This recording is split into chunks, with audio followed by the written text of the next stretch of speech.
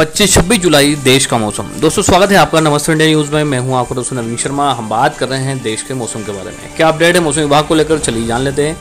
यदि आपने अभी तक चैनल सब्सक्राइब नहीं किया, सब्सक्राइब करें वो बेल आइकन अवश्य दबाएँ जिससे अपडेट रहे। आप देश की सभी कैटेगरी के साथ मौसमी खबरों से अपडेट। किस प्रकार से बना हुआ है वर्तमान मौसमी सिस्टम? सबसे पहले जान लेते हैं, झारखंड और ओडिशा से सटे उत्तरी छत्तीसगढ़ पर एक गहरा कम दबाव का क्षेत्र बना हुआ है और संबंधित चक्रवातियों का क्षेत्र औसतन समुद्र तल से 5.8 किलोमीटर तक फैला हुआ है। मानसून की तरफ़ रेखा अनूपगढ़, अलवर, शिवपुरी, सतना, गहरे निम्न दबाव के क्षेत्र से होते हुए चांदबली और फिर दक्षिण पूर्व की ओर बंगाल की खाड़ी की ओर जा रही है।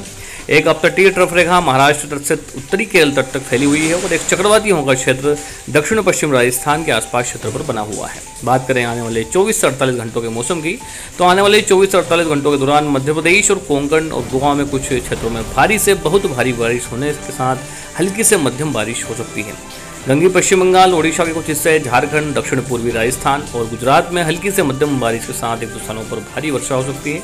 पूर्वोत्तर भारत हिमालयी पश्चिम बंगाल, सिक्किम तटीय कर्नाटक, केरल, विदर्भ, झारखंड के कुछ हिस्से, उत्तर प्रदेश, उत्तराखंड और छत्तीसगढ़ में हल्की से मध्यम बारिश हो सकती है। पश्चिमी राजस्थान, मध्य महाराष्ट्र, मराठवाड़ा, आंतरिक कर्नाटक, तमिलनाडु, अंडमान और निकोबार द्वीप समूह, लक्षद्वीप, तेलंगाना और तटीय आंध्र प्रदेश में छिटपुट हल्की बारिश हो सकती है।